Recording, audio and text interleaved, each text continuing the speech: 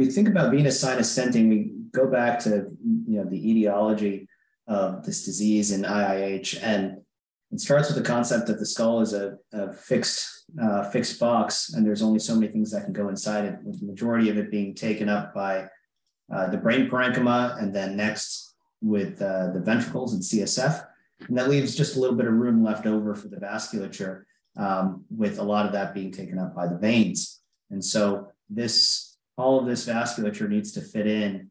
And uh, if there's an outflow obstruction, uh, that leads to buildup in the venous system um, with uh, worsening of the intracranial pressures. So here's what that looks like. We often see it behind the ear um, in the region of the transverse sigmoid uh, junction, either in the transverse sinus or the sigmoid sinus, but it can happen elsewhere as well. And that restricted outflow that we're seeing here on this left picture uh, leads to buildup uh, more proximally upstream.